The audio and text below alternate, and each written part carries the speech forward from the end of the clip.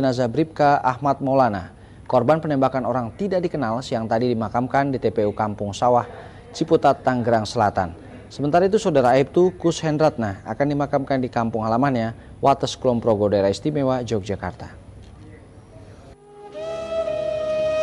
Bribda Ahmad Maulana korban penembakan orang tidak dikenal siang tadi dimakamkan di TPU Kampung Sawah, Tangerang Selatan, Banten.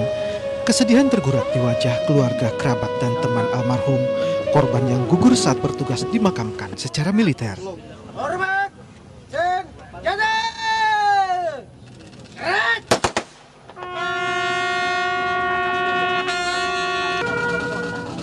Suasana duka sangat terasa saat jenazah Ahmad Maulana dimasukkan ke liang lahat. Anak dan istri Maulana sangat terpukul yang tiba-tiba saja kehilangan tulang punggung keluarga. Keluarga berharap polisi mengungkap penembakan misterius yang sudah menewaskan empat anggota polisi dalam satu bulan terakhir ini.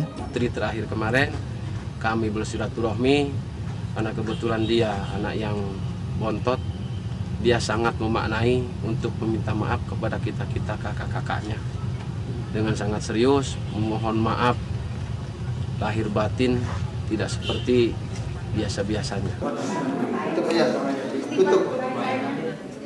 Suasana duka juga menyelimuti keluarga Aibtu Kus Hendratna di Pondok Kacang Timur, Tangerang Selatan, Banten.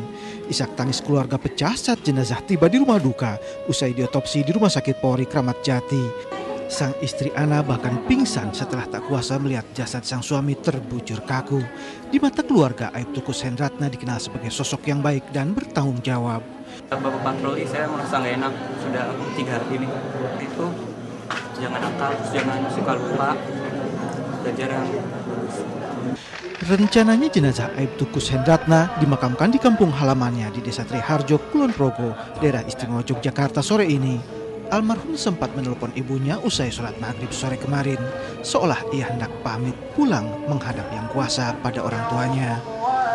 Tim Liputan 6 melaporkan dari Tangerang Selatan, Banten dan Kulon Progo, daerah istimewa Yogyakarta.